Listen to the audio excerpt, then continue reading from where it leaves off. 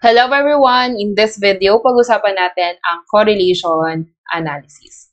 So, mga objective natin ay describe the nature of bivariate data, construct the scatter plot for a set of bivariate data, estimate the strength of association between two variables based on the scatter plot, calculate the person's R, product moment correlation coefficient, and then interpret the computed R in terms of strength and direction, and apply and solve a real-life problems correlation analysis. Okay, define muna natin ano bang pinagkaiba ni univariate data at ni bivariate data. When we say a univariate data, it deals with a single independent variable. Meaning, uh, pwede nating i-describe yung ating population using a single variable. Uh, ano ba yon? Pwede nating gumamit ng mean or yung ating average. Measures of central tendency, yung mean, median, and mode. Measures of variation, yung ating variance and the standard deviation, and the other descriptive statistic. At pag sinabi naman natin bivariate data, it involves two variable from the word by, the prefix by, it means two. It describes the relationships using correlation analysis. The relationship or correlation may indicate the following. Number one, degree of association. Ibig sabihin, what type of relationship ang meron sa isa't isa. Example, English and math grade of group of students. Kumbaga, kapag ba kapag ba nakakuha ka ng mataas na score sa English, makakuha ka rin ba ng score, uh, na score, mataas na score sa math or vice versa. Number two, cause and effect. So, cause and effect, it can answer the question, may kinalaman ba ang mga ito sa isa't isa? Baga nakaka-apekto ba yung mga variable na yan sa isa't isa? Example, nutritional status of pupils and their academic performance in math. Yung bang yung bang nutritional status mo mahapekto ba sa performance mo in math? Number three, predictive ability. Kaya niyang ma-predict, okay, yung dependent variable. Example, entrance test and grades of freshman students. Kumbaga, using the entrance test score, okay, pwede natin ma-predict yung grade ng isang freshman student. Number four, reliability of test. Example niyan, yung mga teacher-made test. In that test, we measures consistency ng score ng isang bata. Kumbaga, we give, we give the same test twice or more to the same student at different times or same time. So, kapag nakakuha siya ng, ng parehong scores, sabihin, consistent siya. And reliable. Okay? So, ano yung mga examples natin of correlation in a real-life situation? Number one, the more social distancing I do, the lesser the risk of acquiring COVID-19 virus. Number two, the more you spend running on a treadmill, the more calories you will burn. Number three, taller people have larger shoe sizes and the shorter people have smaller shoe sizes. Number four, the longer your hair grows, the more shampoo you will need. And number five, the less time I spend marketing my business, the fewer new customer I will have. Number six, the slower the internet speed I have, the more chances of disconnecting from an online class.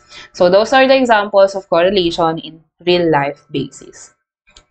Okay, so ano correlation analysis? Si correlation analysis, it's a method that we use to determine kung may relationship ba yung dalawang variable. It measures the association or the strength of the relationship between two variables. Okay? Co means together, relation means connection. Okay, it's also defined as the relationship between two or more variables that are linked together.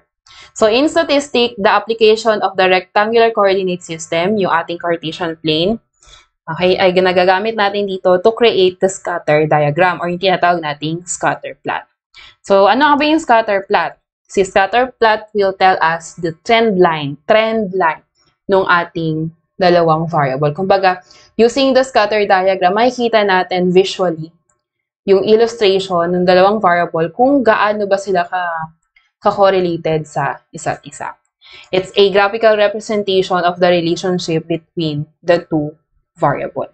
Okay? Example ng scatter plot diagram is look like this. Yung sabihin, meron tayong uh, x values and y value, independent and dependent variable. So in here, ang x natin ay yung temperature and then ry is the sales. So, as you can see, paano tayo nagpa-plot? Para ka lang pong nagpa-plot ng, ng points in a Cartesian plane. For example, 36, 123. In this case, nasan ba yung 36 natin? Diba, ito po yung 36. Okay? And then, ito po yung pang ating 123. So, ito po yung point. So, magpa-plot-plot ka lang po. Okay, so as you can see, anong may interpret natin dyan?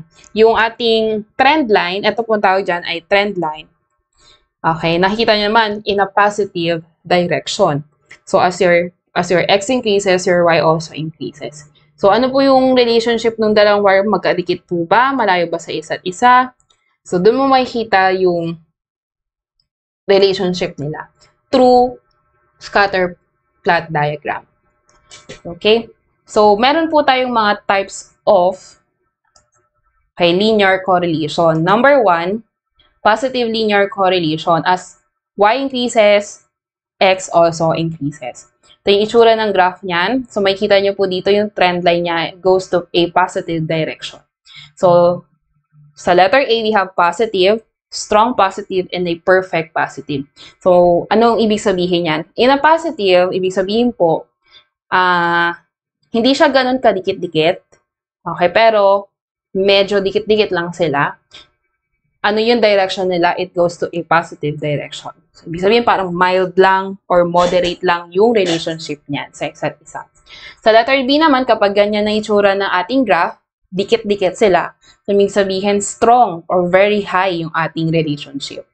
And sa letter C naman, kung makikita mo po, diretsong-diretso siya.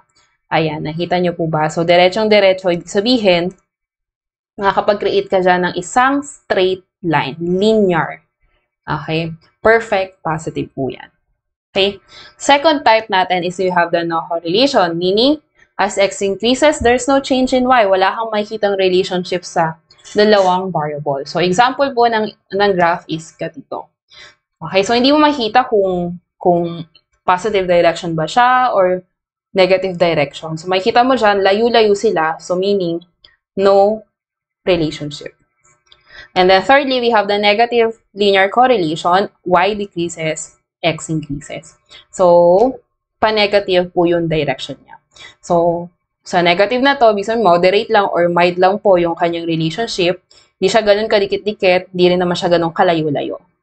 And then sa letter E, strong, negative, ibig sabihin po, dikit-dikit sila, so meron silang very high okay, negative relationship. And then lastly, kung makikita nyo po, this is a perfect negative. Okay, straight line. Okay? So, yung mga yan, meron po tayong tinatawag na strength of relationship or yung degree of association. So, using that graph, makikita natin, ano ba yung mga strength of relationship ng dalawang variable. So, first, we have the perfect positive correlation if R equals to 1. High positive, low, no correlation means R equals to 0. Low negative correlation, high negative, and perfect negative correlation. So, yan po yung itsura ng mga graph natin sa scatter plot kapag pinlat po natin yung dalawang variable. Okay, trend line tells us direct, the direction of the correlation. Closeness of the points on the trend line indicates the relationship of the variable. Strong correlation, moderate, weak, or no correlation. Okay, it can be positive or negative, pwede ding wala, weak, moderate, or strong.